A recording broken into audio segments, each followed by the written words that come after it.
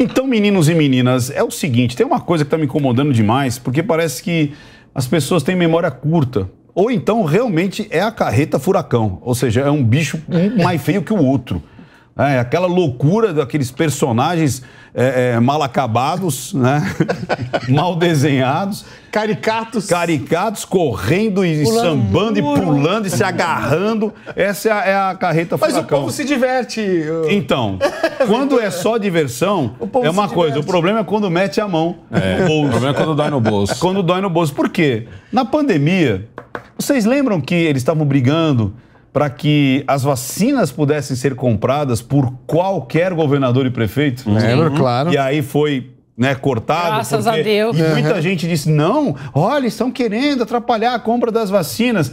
Por que eles não queriam deixar na mão de governadores e prefeitos? Porque teve um cidadão, não sei se vocês lembram, ele lembra até aquela, o pessoal do. Não é a mamãe, claro. chama Dino.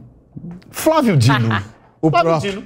Quando ele era governador do Maranhão, ele comprou foram, foram 70, acho que 70 respiradores, primeiro, pagando 150% a mais. Superfaturados. Já era 150% a mais. Já. Só que, para piorar o espanto, esses respiradores foram comprados aonde? Numa casa de respiradores. Não. Não.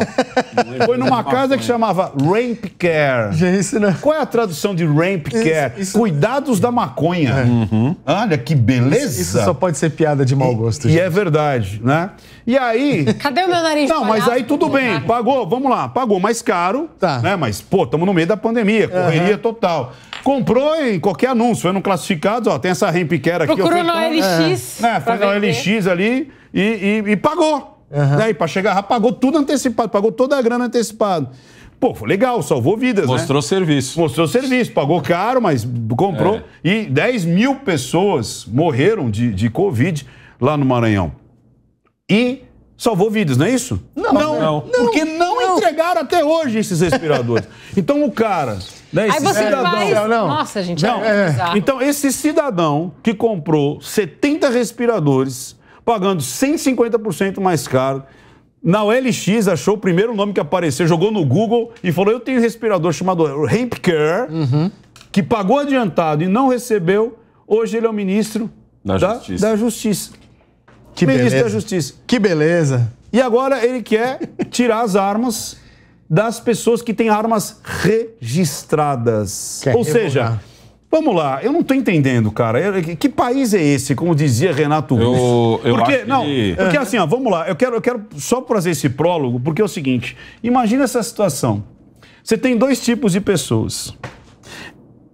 O traficante, o assaltante, o bandido, que tem armas. Uhum. E você tem uma, uma, uma galera que chama CAC, que tem armas para o seu, seu, seu, seu esporte. Ou até mesmo tem armas pela federal, que simplesmente a pessoa falou: eu quero ter uma arma, comprou uma arma e deixou em casa. Para sua uhum. defesa. Pra sua... Então, mas vamos lá. Ou simplesmente por Muita mostrar. gente diz o seguinte: que armas são feitas para matar. Tá bom, armas são feitas para matar? Também. Agora, a arma dessa galera aqui que comprou e registrou, ela tem um proprietário. Qualquer coisa que essa arma fizer, quem vai responder é o proprietário dela. Tá Ou seja, essa arma, além do próprio registro dela, ela tem pendurado nela um CPF, um nome e um acervo. As pessoas sabem onde essa arma está, uhum. de quem é essa arma e o que essa pessoa faz. Inclusive, para essa pessoa ter essa arma, ela tem que ter ficha limpa. Ela tem que ter meios econômicos para se manter. Ela tem que frequentar clube de tiro. E ela tem frequência. que frequentar clube de é. tiro. Essa arma então, tem uma capivara. Essa é. arma tem aonde essa você ir atrás. Ou seja, só que olha que interessante. Essa arma, essa arma, sabe quantas vezes ela se envolve num latrocínio ou numa morte? Menos de 1%, menos do que isso. Uhum. Agora, do traficante, 100% dessas armas que não tem registro, não tem um CPF grudado a ela, elas são usadas 100% para o tráfico, Mas para a morte, galera, para o sequestro. O traficante é. ele é um comerciante agora, vítima da sociedade. Agora, se você tem uma arma uhum. que 100% dela é usada para morte, para extorsão, para o estupro, para o tráfico, para o sequestro, por que, que eu deixo essa arma aqui para depois e vou pegar justamente essa arma que tem um histórico, tem um CPF, e tem uma pessoa que já foi pesquisada a fundo antes de entregar. Qual é o raciocínio dessa pessoa, Porque negão? nenhum político quer resolver problema, né? Um problema resolvido é um problema para um político. O político quer o caos. O político quer a bagunça para ele poder prometer uma solução e ele não entregar porque um outro político que não presta não deixou ele entregar aquela solução.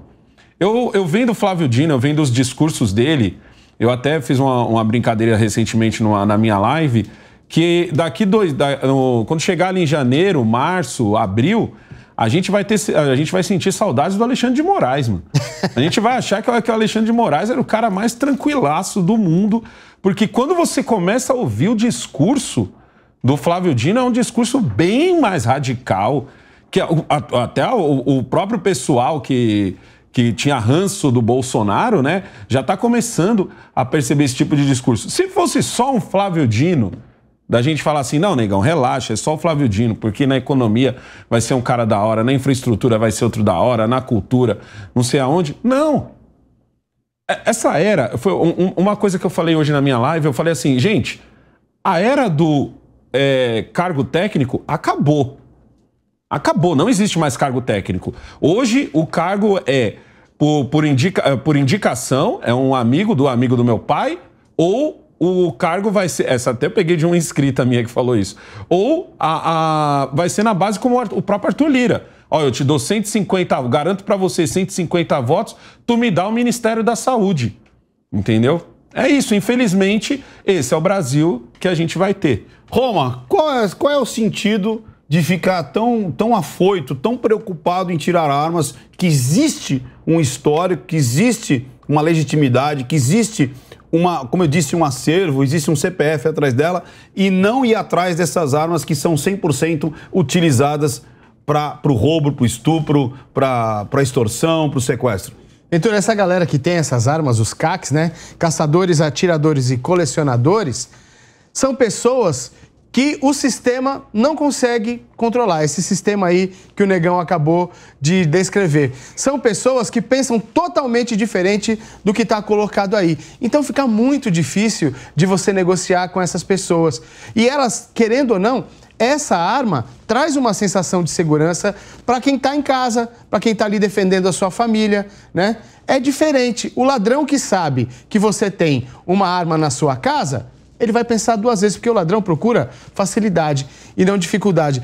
Só, é, é, Ventura, só mais um pouquinho, é, respondendo, aliás, pegando referência no que você falou a respeito de que, do que muita gente fala, né? Que arma é feita para matar. Você colocou muito bem. Para tirar um porte de arma, para você conseguir ter uma arma. Porte um, não, posse. Posse, posse. Só para deixar em casa. Posse, só para deixar em casa. É um baita processo. Não é cheguei ali, comprei, então não é no Canadá que você vai lá no supermercado, compra uma, depois pega o documento, mostra ali, leva a sua arma para Não é assim, não. É um baita processo que tem que acontecer. Você passa por um monte de testes. O Exército Brasileiro tem que aprovar. Não é assim, brincadeirinha, não. Agora, para tirar a sua carteira de habilitação, você não passou por um baita processo também?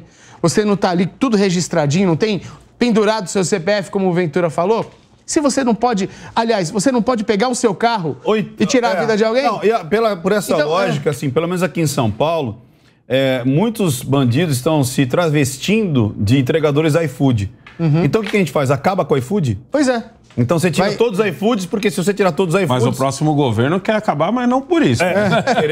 Você entendeu? Amazon, iFood. Aí eu quero entender é. com, a, com, a, com a Duda. Qual é a lógica de desarmar a população e deixar os bandidos armados.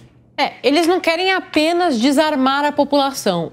Eles querem desarmar a população, meter câmera na roupa dos policiais, impedir operação dentro das comunidades, mas em nenhum momento nenhum deles parece estar nem um pouco preocupado com diminuir criminalidade, com encontrar e eliminar os chefões do tráfico. Pelo contrário, tem chefão do tráfico aí sendo solto porque foi julgado no lugar errado né? Então, assim, é porque não teve o trânsito em julgado e toda essa pataquada que eles inventam de uma hora para outra para soltar os amigos deles, né?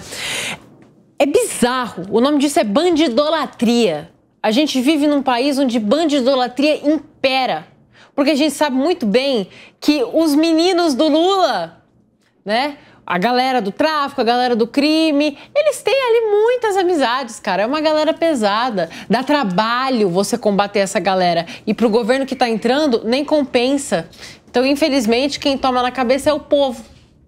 Jamile, você acredita que isso poderá ocasionar o aumento da criminalidade? Gente, olha só, o maior eleitorado é, do Lula nas prisões foram os apenados, é claro. As pessoas que estão lá presas, de cinco votos, olha só, quatro votaram nele.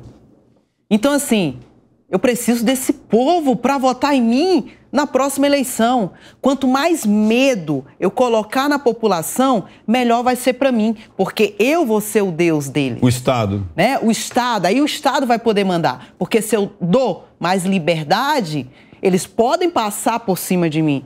E se eu coloco medo, não. Calma lá. Eu vou conseguir manter a situação debaixo das minhas asas. Essa daqui, na minha visão, é a resposta da, da, da tua pergunta. Olha, olha, olha, que, olha, olha que interessante. Para terminar, é. o nosso é. tempo até acabou. Só para você de casa ficar pensando. Você sabia que o Japão, antes de atacar Pearl Harbor, ele pensou em invadir os Estados Unidos por terra?